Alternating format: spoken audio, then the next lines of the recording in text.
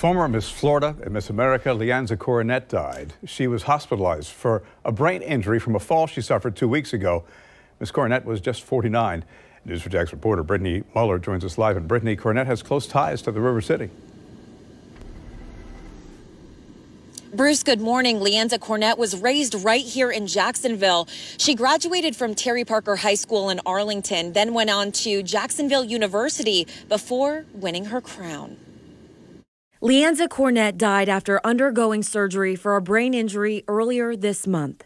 The news first broke on Leanza Cornett's Circle of Love Facebook page. Dear Disney family, I'm here to let you know Leanza passed this afternoon. She was so loved. I don't feel like writing a lot right now. My heart is broken, Sue.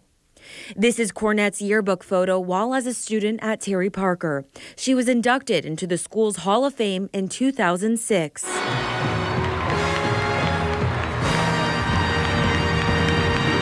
Cornett was crowned Miss Florida in 1992 and becoming Miss America a year later. She was recognized as the first beauty queen to adopt AIDS awareness and prevention as her platform. These are things that we have to educate people about, including children. The Miss America organization shared this message. Leanza had a bright and beautiful spirit, and her laugh was infectious.